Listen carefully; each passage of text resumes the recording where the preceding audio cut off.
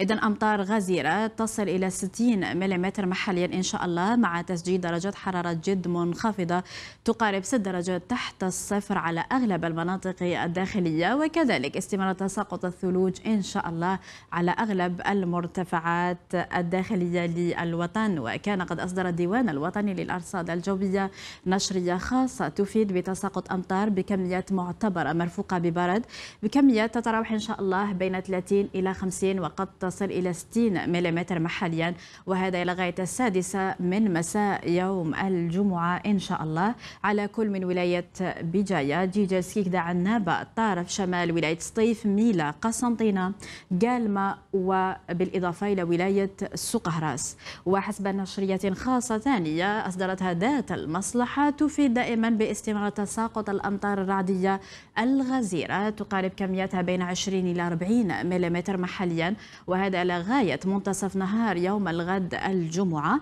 على كل من ولاية لمسان عين تيموشنت وهران مستغانم شلف تيبازا ولاية بومرداس الجزائر العاصمة البوليدة غليزان معسكر سيدي بالعباس عين الدفلة والبويرة. كذلك أكدت مصالح الأرصاد الجوية في نشريات خاصة من استمرار تساقط الثلوج على أغلب المرتفعات التي يتراوح علوها بين 800 إلى 900 متر. سمك الثلوج يتراوح بين 10 إلى 20 سنتيمتر إلى غاية الثالثة بعد زوال نهار اليوم إن شاء الله الخميس. وهذا على كل من ولاية عين الدفلة البوليدة المدية بومرداس تيزي وزو بجاية جيجل ميلة سطيف برج بوعريريج والبويرة وكذلك يرتقب إن شاء الله نسجل دائما استمرار تساقط الثلوج الكثيفة.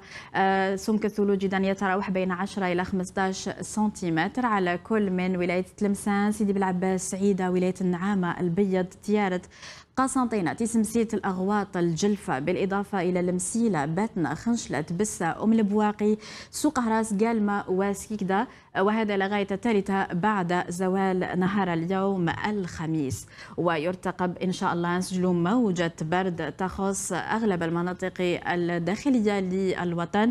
آه، تحديدا كل من جنوب تلمسان النعامة البيض سيدي بالعباس سعيدة ولاية تيارت كذلك تسمسيلة الأغواط الجلفة المسيلة المدية البويرة برج بوعريريج سطيف ميلا قسنطينة خنشلة باتنا أم البواقي وولاية تبسة. إذا ستقارب إن شاء الله حسب النشرية الخاصة.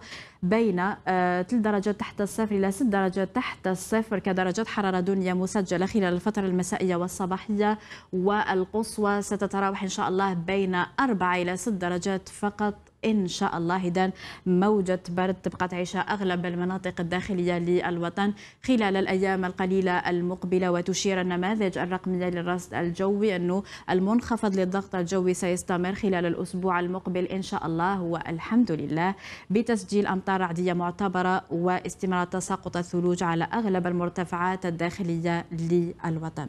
إذا مشاهدينا الكرام أجواء ممطرة ومثلجة تبقى تعيش أغلب المناطق الشمالية للوطن. مع موجة برد ستقارب إن شاء الله 6 درجات تحت الصفر تقريبا على أغلب المناطق الداخلية. أشكركم على كرم الإصغاء والمتابعة والعودة إليك. أحلام. شكرا لك هنا أخوات ريا